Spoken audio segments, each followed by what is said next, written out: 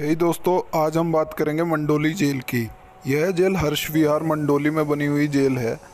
इस जेल को छह हिस्सों में बांटा गया है। दिल्ली की 16 जेलों में से छह जेल यहाँ पर हैं। जेल नंबर 11 से लेकर जेल नंबर 16 तक। इस जेल में वह लोग जाते हैं जिनका केस करकरडुमा कोर्ट में चल रहा हो।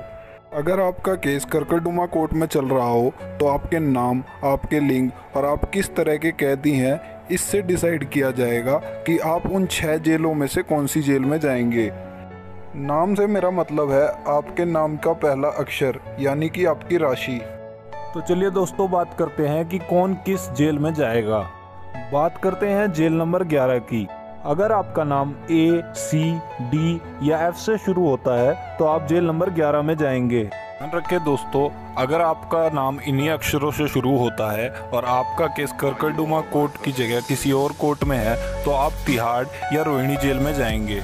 अब बात करते हैं जेल नंबर 12 की। अगर आपका नाम ई जी H I J K L M N O P Q या जेड से शुरू होता है और आपका केस करकटडुमा कोर्ट में चल रहा है तो आप जेल नंबर 12 में जाएँगे। अब बात करते हैं जेल नंबर 13 की। अगर आपका नाम B R S T U V W X Y से शुरू होता है और आपका केस करकटडुमा कोर्ट में चल रहा है तो आप जेल नंबर तेरह में जाएँगे। तो दोस्तों, अब बात करते हैं जेल नंबर चौदह की।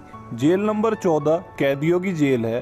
यह जेल उनके लिए है जिनको उनके केस में सजा हो चुकी है। तो दोस्तों, अब बात करते हैं जेल नंबर पंद्रह की। जेल नंबर पंद्रह पूरी हाई रिस्क की जेल है। यह जेल उन हवालातियों के लिए है जिनको कोर्ट से हाई रिस्क में रखने के आदेश दिए गए हैं, या फिर वो हवालाती, जिनको किसी अन्य गैंग से खतरा है।